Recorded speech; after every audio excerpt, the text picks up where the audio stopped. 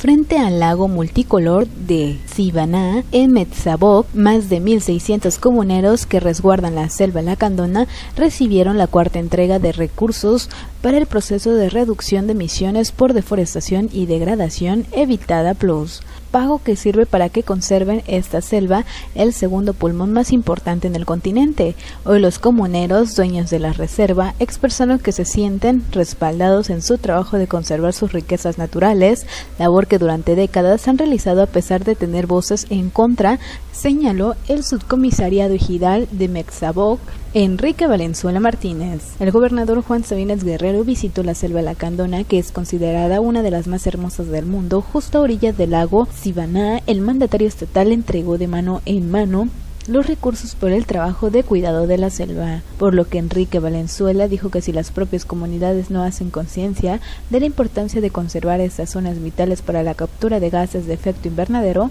las próximas generaciones tendrán un futuro incierto. En este contexto, Kim García, subcomisariado de la comunidad lacandona de Najá, agradeció el apoyo otorgado y reconoció que la entrega de recursos Red Más en Chiapas es ejemplo para otras latitudes del mundo. Ese recurso mensual, fruto de la recaudación hecha a través del pago de tendencia vehicular en Chiapas, sirve para que los habitantes de esta zona no deforesten y tengan otra alternativa de subsistencia a la par de reconocer su legítima propiedad y herencia, indicó el mandatario de todos los chiapanecos. De igual forma, los exhortó a acelerar el paso para que integren el inventario que permitirá conocer la cantidad de captura de gases de efecto invernadero y así la comunidad internacional también les pague por sus servicios ambientales. Asimismo, Sabines Guerrero anunció diversas obras para esta comunidad, como el revestimiento y apertura de calles, camino a la carretera, la ampliación del sistema de agua potable y drenaje y la construcción de letrinas ecológicas.